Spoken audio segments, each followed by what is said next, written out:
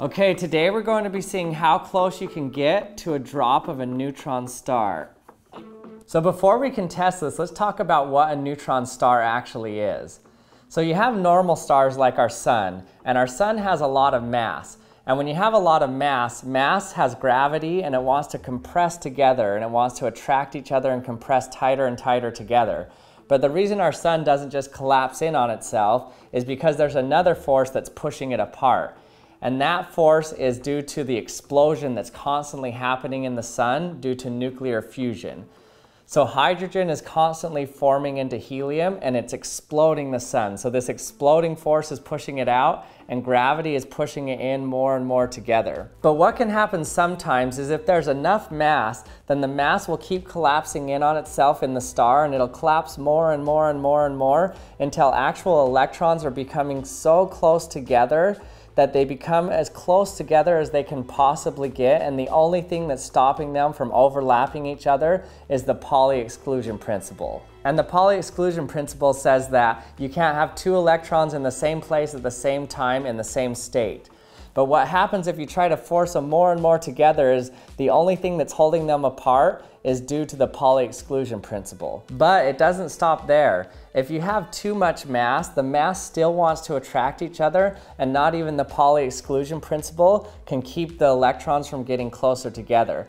So as it keeps compressing stronger and stronger together, the electrons and the protons get so close together that you have electron capture and it turns a proton and electron into a neutron and you end up with a pure neutron soup.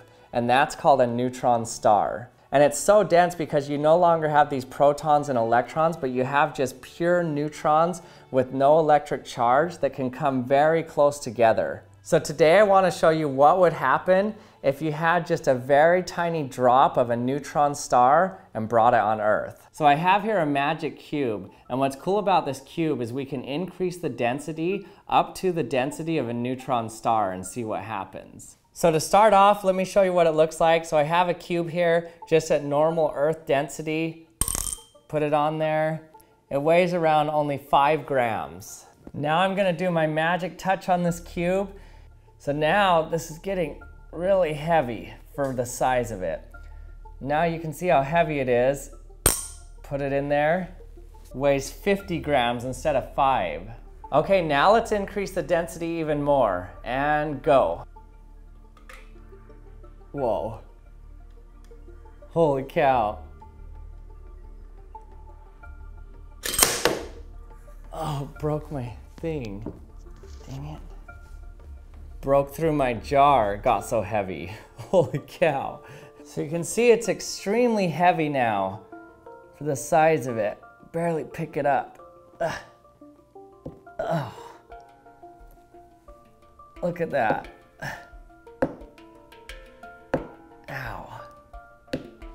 So I would say this weighs around one pound now. You can see how heavy it is here. Ow. Okay, I'm increasing the density. I can't even hold it anymore.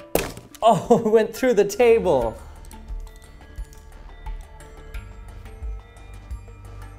Okay, so we're gonna need a stronger base, but let's just go ahead and turn it all the way up to neutron star and see what happens. Three, two, one. Whoa, it just shot through the earth. So right now it's basically vaporizing the mantle in front of it and leaving a trail of hot plasma behind it. In a while, as it falls, it'll eventually just become lodged in the Earth's core. So let's try this again with a holder that will actually stop it from falling through the table and through the Earth. Okay, now let's redo this experiment with a magic stand that can support the weight of the 100 billion kilograms in that tiny little centimeter cube there.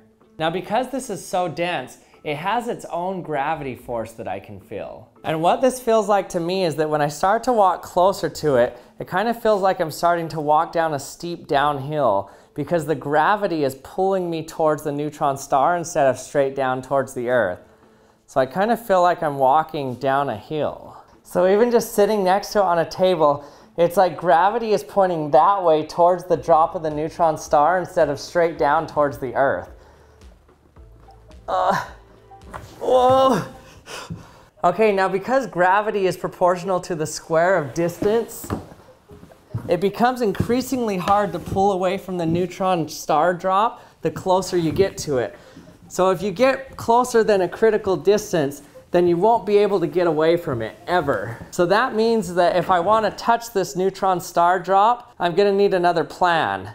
And that plan has to do with water. Okay, so I managed to get some water around this. And if I didn't have this box around it, it would look like this. It would be a complete sphere around it with the drop at the very center because gravity is now pulling it all towards the center. Now normally the point of no return with a drop this size of a neutron star is around 8 inches. Around 8 inches away, your arm would become too heavy to ever pull back and then it would just get sucked in and probably get ripped off and it would pull your whole body in and you'd compress down into the neutron star. But if you put water around it, something interesting happens. So let's see if this orange gets sucked in. Huh. It just floats. So at this range, it's hundreds of times of Earth's gravity, but it's floating on top here.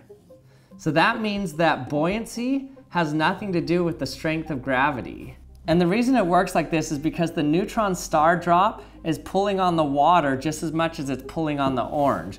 But it pulls on the water a little more because the water is a little more dense. So the orange still floats on top of the water. So this means on different planets, whether it had stronger or weaker gravity than Earth, boats would still be able to float just fine. They'd have the same buoyancy as on Earth because buoyancy is independent of the gravitational factor. So that means my hand should be okay because my hand is less dense than water. So my hand will never get pulled towards the neutron star stronger than water. So as long as I keep it in water, I should be able to get to as close to it as I can. But what happens when I get close to it is it's like there's this impenetrable layer I can't get past because my fingers are less dense than water. Basically, I can't penetrate this layer of water because the neutron star is pulling down on the water no matter what, harder than it's pulling down on my finger. And so no matter what, I can't get through the layer of water around the ball. So even in this situation, even when you have water around it, you're protected from the gravity, but that means that you're gonna end up with a very small layer that you can't penetrate with your finger as long as you're less dense than water. Now, if you put some alcohol in this water and you actually became more dense than the water, then it would suck your finger in and you wouldn't be able to pull it off. So no matter what, even in this situation, you wouldn't be able to touch a neutron star. You could get very close if you surrounded it with water, but you could never actually touch it. Hey everybody, thanks for watching. The ideas for this video and a lot of the information from it came from the book from Randall Munroe, What If, that I've mentioned before, one of my favorite books. Now, in case you couldn't tell, this video was a simulation. I did not actually have a drop of a neutron star. But if you do manage to get a drop of a neutron star, don't try to touch it. And thanks for watching everybody. I hope you enjoyed it. If you haven't subscribed yet, hit the subscribe button for the Action Lab and head over to theactionlab.com to check out the Action Lab subscription box. Thanks for watching and I'll see you next time.